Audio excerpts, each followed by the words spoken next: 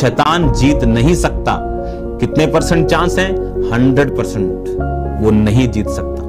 कितने percent chance छुटकारे के क्या कोई रीजन हो सकता है कि कहीं से कोई रीजन निकल जाए? मैं कह रहा हूँ, हंड्रेड परसेंट आप जीतेंगे। आपको सिर्फ़ सिंपल वर्ड फॉलो करना है।